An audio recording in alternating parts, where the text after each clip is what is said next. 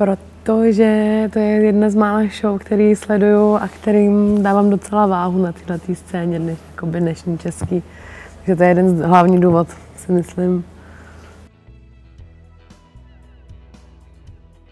Myslím, že to budou pěkně vypečené otázky. Abych pravdu řekla, tak já se ho docela bojím zeptat na cokoliv.